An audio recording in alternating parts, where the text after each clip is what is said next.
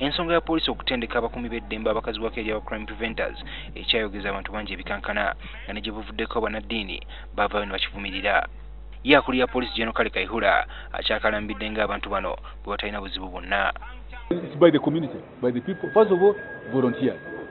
We only guide them to make sure that those who they select are law abiding, don't have a criminal record. Or if they had a criminal record, they are now Saulos who have become Paulos.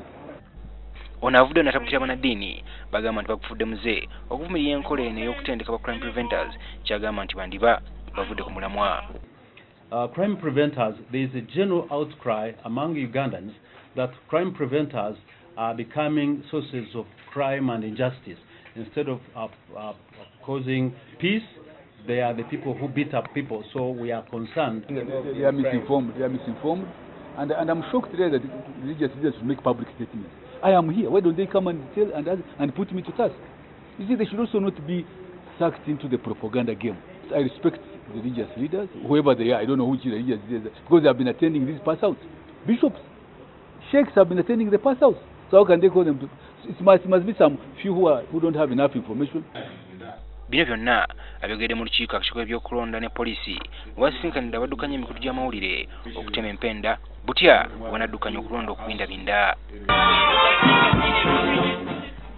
kaihura olunaku lweggulo bweyadde atongoza ebibinja by'aba crime preventers abasukka mu disitulikiti ey'isingiro yayongedde okuwera ng'ebinja bino bwe bijja okuyambako poliisi mu kukuuma emirembe mu kulonda okujja initial training school. During our first nokulaba ngu taliho mbwenu akavuyo. Ka polling station. Ninga mu mihanda ah, abantu ba nibaza kuteera kalungu ye ssentebe by'okulonda mu ggwanga ingnia badi kiggundu bwe tumubuuziza ku nsonga ya poliisi okukozesa aba crime preventers mu biseera by'akalulu ategeeza nga ye bwatakinako buzibu. Nze gwemwogera gwemubuuza nze ndi crime preventer. Ate certificate namba emu nze ngiina program ya crime preventer bwe yatandikibwa mu ggwanga lino nze omu ku bayizi abaatuula mu musomo ogwo nensomesebwa nenfuna certificate. Namba eki nekyo sirawamu buzibu olwokumuyita crime preventer ng'asomesebwa bukya kutendeka kwa crime preventers kutandika amaloboozi agatali gamu gawuliddwa nga gavumirira enkola eno tiyandivaamu akabi. Wadde nga poliisi ekyagenda mu maaso n'okutendeka abantu bano okubayambako ku bumenyi bw'amateeka ivan kimuli kigozi ntv akawungezi